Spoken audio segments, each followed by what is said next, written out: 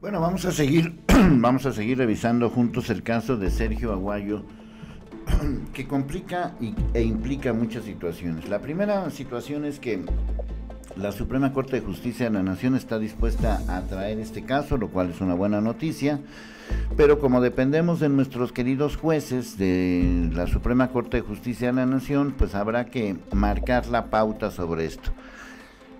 La Suprema Corte de Justicia de la Nación esencialmente lo que revisa es la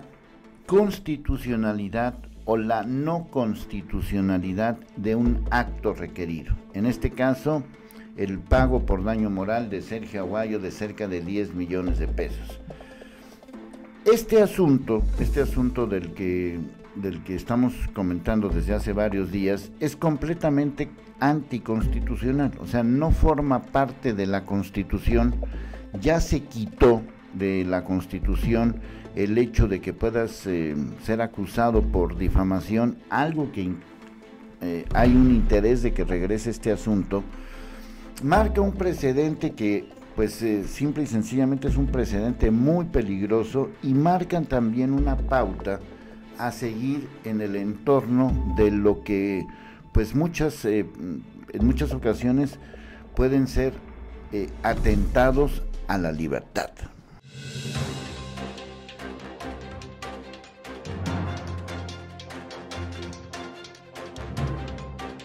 Bueno, el hecho es que,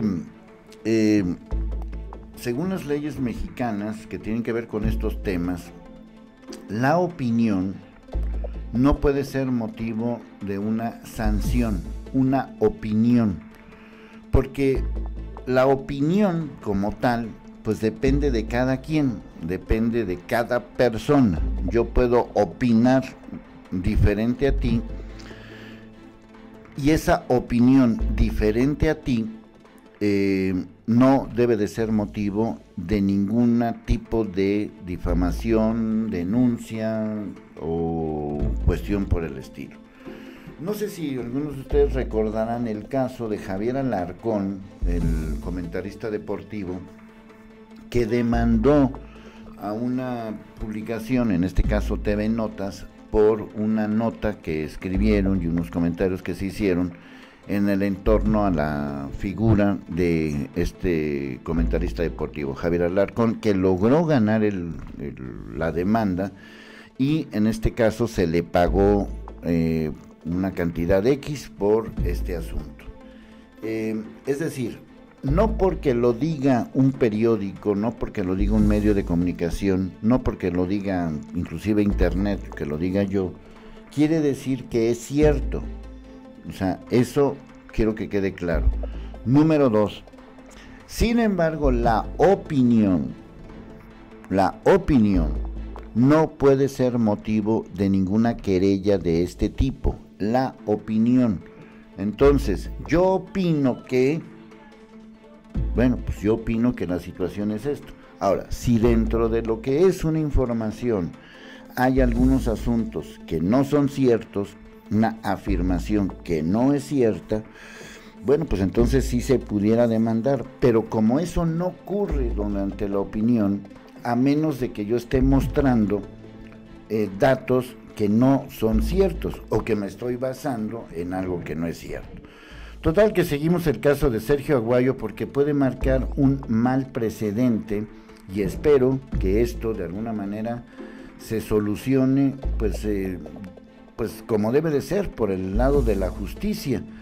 la columna del académico Sergio Aguayo en contra de Moreira es la más cara de México, 10 millones de pesos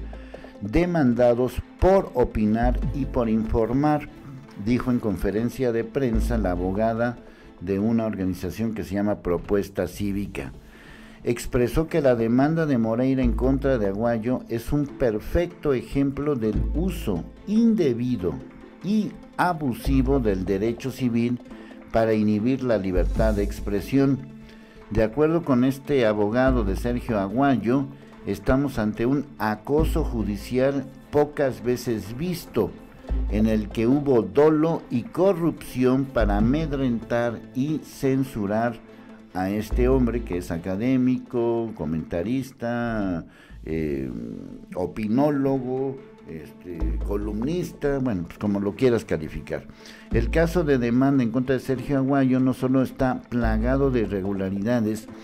sino que refleja una dualidad operativa en el Tribunal Superior de Justicia, en este caso de la Ciudad de México. Por un lado, las peticiones de Moreira han sido resueltas de manera expedita y por otra parte, la resolución de asuntos de la defensa de Aguayo atraviesa por una situación de aplazamientos y letargos. Entre las irregularidades está que el magistrado que revivió la demanda de Moreira en contra de Aguayo, y aquí viene su nombre, aplicó disposiciones derogadas para motivar el caso a favor de el exgobernador de Coahuila y ojo con esto. El magistrado no solo torció el derecho y se encuentra en un claro conflicto de interés, ya que en 2017 el hermano de Humberto Moreira, el entonces gobernador de Coahuila, Rubén Moreira, le otorgó al hermano del magistrado una notaría pública en Saltillo. También actuó de manera indebida al continuar con un proceso de demanda que además de atentar contra la libertad de expresión exige un resarcimiento por presuntos daños morales que excede las disposiciones legales de la materia. El abogado refirió que mientras la defensa exige el pago de 10 millones de pesos por un presunto agravio causado por una columna de opinión, las disposiciones legales vigentes establecen una sanción económica máxima de 25 mil pesos. El magistrado habría errado en su actuar al admitir el proceso de demanda obviando los mecanismos de excepción que existen en las distintas disposiciones legales. Aquí estamos hablando de la Ciudad de México. De acuerdo con todos estos asuntos y estas eh, organizaciones, existen mecanismos como el derecho de réplica y rectificación que deben ser de aplicación obligatoria y previas de cualquier demanda por daño moral. Se brincan las excepciones de la ley de manera dolosa, corrupta y punitiva. Eh, también acusó de que en este caso existe una valoración inadecuada sobre el trabajo periodístico, ya que para que las autoridades determinaran que hubo abuso en la libertad de expresión, primero debieron distinguir si se trató de una investigación o de una columna de opinión, ya que las opiniones en ningún caso, en ningún motivo, pueden ser criminalizadas o judicializadas. El magistrado interpretó y aplicó de manera doloso e inadecuada el estándar de malicia efectiva. Este estándar tiene que ser aplicado a géneros periodísticos de información que por su propia naturaleza implican un contenido de hechos. Y en el caso concreto de Aguayo se trata de una columna de opinión que tal como lo ha establecido la Suprema Corte de Justicia de la Nación, el estándar de malicia efectiva solo puede aplicar en la difusión de hechos y no de opiniones, ideas o juicios de valor. Em, también señalaron em, de que realizó este magistrado, realizó una interpretación errónea mismo que establece que los límites de la crítica y el escrutinio público siempre serán amplios tratándose de personas con proyección y actividades públicas. Sin atender el sentido correcto, el magistrado decidió que en atención al sistema dual, el periodista no debió criticar la detención de Moreira en España, ni generar juicio, ni opinión de un funcionario como gobernador de Coahuila, concluyendo que la columna violaba la presunción de inocencia, un argumento falaz o equivocado toda vez que el autor de la columna comunicó un hecho cierto y noticioso. Bueno, pues ahí están más o menos a grandes rasgos todos estos asuntos que no dejan de ser graves por todo lo que implica la posibilidad de que esto se convierta en un precedente que no lo debemos de permitir quiero que quede claro, en las leyes mexicanas, opinar opinar, y lo están diciendo los abogados, lo, lo estoy diciendo yo, porque me consta que una vez fui demandado,